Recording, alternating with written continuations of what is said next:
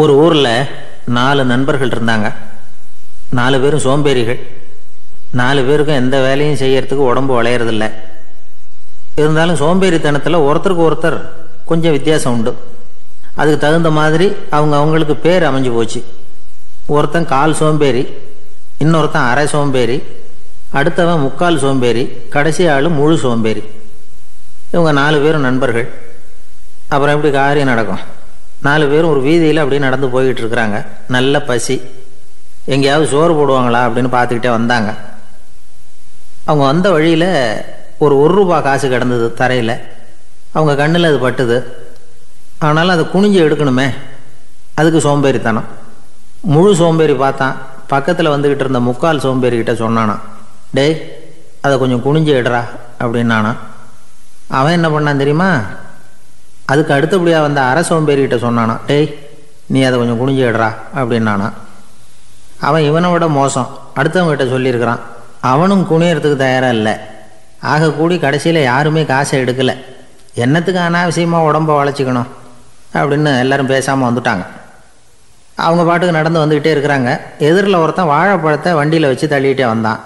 ரூபாய்க்கு நாலு பழம்னு கூவி விற்றுக்கிட்டே வர்றான். இப்போ அந்த முழு சோம்பேறி சொன்னானா டேய் வழியில் கிடந்ததை ஒரு ரூபா அதையாவது எடுத்துக்கிட்டு வந்திருந்தா இப்போ இந்த பழத்தை வாங்கி ஆளுக்கு ஒன்று சாப்பிடலாமே அப்படின்னானா. ஆமாம் சாப்பிட்ருக்கலாமே அப்படின்னாங்களாம் மற்றவங்களும் ஆனாலும் திரும்பி போய் அதை எடுக்கணும்னு யாருக்கும் தோணலை. பேசாமல் சோர்ந்து போய் நடந்து வந்தாங்களாம். இருட்டி போச்சு. வழியில் ஒரு கோவில். சரி இங்கேயே படுத்து தூங்குவோம் அப்படின்னா ஒருத்தன். அதுதான் சரின்னாங்க மற்றவங்களும் அப்படியே மண்டபத்தில் படுத்துட்டாங்க. கோவில் அர்ச்சகர் வேலையெல்லாம் முடிச்சு விட்டு வெளியில் வந்திருக்காரு. இவங்கள பார்த்தாராம். ஏன் இப்படி சோர்ந்து போய் கிடக்குறீங்க? அப்படின்னு விசாரிச்சிருக்கார்.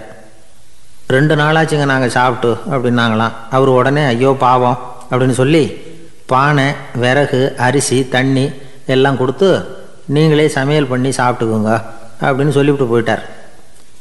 இந்த நாலு பேருக்கும் சமையல் பண்ணி சாப்பிட்ணும்னு ஆசையாக தான் இருந்தது. ஆனால் அடுப்பு பற்ற வைக்கணுமே அதுக்கு தீப்பெட்டி வேணுமே. தீப்பெட்டி இல்லை. இப்போ முழு சோம்பேறி ஆரம்பித்தான் அடுத்தவனை பார்த்து டேய் கடைக்கு போய் ஒரு தீப்பெட்டி வாங்கிட்டு வாயேன் அப்படின்னு நானா. அவன் வழக்கம் போல் அடுத்தவங்ககிட்ட சொல்லியிருக்கான். அவன் அதுக்கு அடுத்தவங்ககிட்ட சொல்லியிருக்கிறான். கடைசியாக கால் சோம்பேறிக்கிட்ட வந்து சேர்ந்தது. அவனும் அது நம்மால் முடியாது அப்படின்னு பேசாமல் இருந்துட்டான். இப்போ தீப்பெட்டி வேணுமே அதுக்கு என்ன பண்ணுறது அவங்களுக்குள்ளே பேசி ஒரு முடிவுக்கு வந்தாங்களாம். அதாவது யார் முதல்ல வாயை திறந்து பேசுகிறாங்களோ அவங்க தான் தீப்பெட்டி வாங்குறதுக்கு போகணும் அப்படின்னு. அவ்வளவுதான். உடனே நாலு பேரும் வாயை கெட்டியாக மூடிக்கிட்டு படுத்துக்கிட்டாங்க. அவங்க சமையல் பண்ணி சாப்பிட்டாங்களா என்ன அப்படிங்கிறது அர்ச்சகருக்கு தெரியல. சரி பார்த்துட்டு வரலாமேன்னு வந்தார். வந்து பார்க்குறாரு இவங்க நாலு பேரும் அசையாமல் படுத்து கிடக்குறாங்க. அர்ச்சகர் பயந்துட்டார். ஒருவேளை பசி தாங்காமல் செத்து போட்டாங்களோ அப்படிங்கிற பயம்.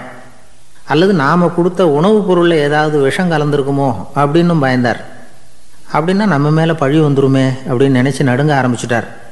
அப்புறம் அவரும் ஒரு முடிவுக்கு வந்தாராம். கோவிலுக்கு பக்கத்துலேயே ஒரு பெரிய குழி இருந்தது. அதில் ஒவ்வொருத்தரையாக இழுத்துக்கிட்டு போய் போட்டார். கொஞ்சம் மண்ணை தள்ளுனார். காலால் மிதித்தார் அவர் மிதித்த மிதி ஒருத்தன் அடி வயத்தில் போட்டுவிட்டுது அவன் உடனே வலி தாங்காமல் ஐயோ அம்மான்னு அலறினான். உடனே நடந்தது என்ன தெரியுமா? மற்ற மூணு பேரும் துள்ளி எழுந்திரிச்சாங்களாம். அவனை பார்த்து நீ தாண்டா தீப்பெட்டி வாங்க போகணும். நீ தாண்டா வாங்க போகணும். நீ தான் சத்தம் போட்ட. அப்படின்னு சொல்லி ஆரம்பிச்சிட்டாங்களாம். அர்ச்சகர் பார்த்தார் இது பேய் மாதிரி தெரியுதுன்னு நினச்சிக்கிட்டு ஒரே ஓட்டமாக ஓடி போட்டாராம். கிராமப்புறங்களில் இப்படி ஒரு கதையை சொல்கிறது உண்டு. சோம்பல்ங்கிறது நம்ம முன்னேற்றத்துக்கு பெரிய தடை அப்படிங்கிறத நாம் புரிஞ்சுக்கணும். அதுதான் இந்த கதை சொல்கிற நீதி. ஒரு பள்ளிக்கூடத்தில் ஒரு புதுமையான போட்டி நடந்துதான். அதாவது சோம்பேறித்தனத்துக்கு பரிசு.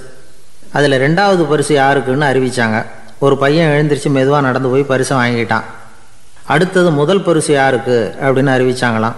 அவன் கடைசி வரிசையிலேருந்து கத்துனானான் ஐயா அதையும் அந்த பையன் மூலமாகவே கொடுத்து அனுப்பி வச்சுருங்க. இங்கே வந்தது நான் வாங்கிக்கிறேன்.